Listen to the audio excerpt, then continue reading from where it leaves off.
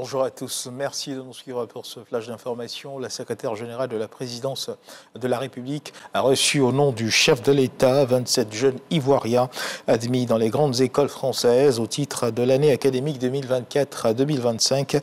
Masséré Touré leur a transmis les encouragements et le soutien du président de la République Alassane Ouattara. Chaque élève bénéficiera ainsi d'une bourse d'excellence incluant une prise en charge complète de la scolarité, une allocation mensuelle. Depuis septembre 2020, le chef de l'État a pris l'engagement dans la Marawi de faire de l'adduction en eau potable une réalité tangible. Cette population de plus de 100 000 habitants est depuis lors bénéficiaire, comme 11 autres localités du pays, d'un projet de renforcement en eau potable d'un montant de plus de 170 milliards de francs CFA financé avec la Côte d'Ivoire par la Chine. Le Premier ministre Robert Begrémambé a donc procédé hier vendredi à Boisflé à la mise en service de projets qui comprend une station de traitement d'eau potable de 8000 m3 par jour, un château d'eau de 1000 m3 ainsi que des canalisations. Les populations bénéficiaires ont marqué leur satisfaction.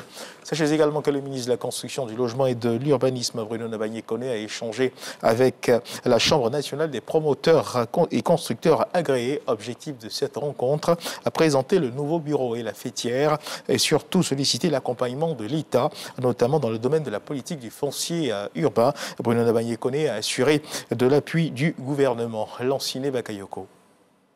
Devant le ministre de la Construction, du Logement et de l'Urbanisme, la Chambre nationale des promoteurs et constructeurs agréés a évoqué toutes les problématiques qui entravent l'activité immobilière. Les plus prégnantes sont la disponibilité du financement et surtout la question du foncier.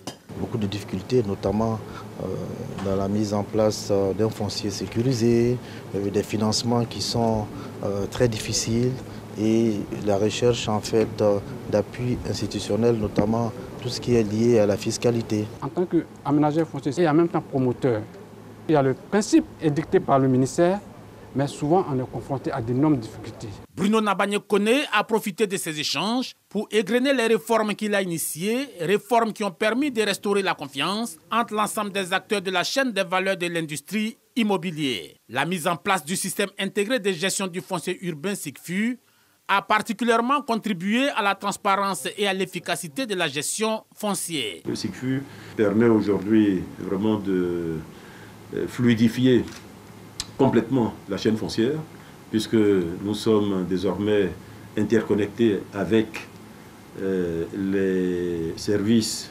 de la conservation foncière et du cadastre. Désormais, les flux se font de façon numérique euh, donc euh, tout cela facilite les choses, réduit les délais, c'est vraiment important. Euh, nous sommes au titrement massif, donc nous avons déjà parlé beaucoup, qui va énormément simplifier la tâche. La Chambre nationale des promoteurs et constructeurs agréés a annoncé qu'elle organise la première édition du Salon de l'immobilier, du financement et de l'innovation SIMOFI du 11 au 13 novembre prochain au Canada.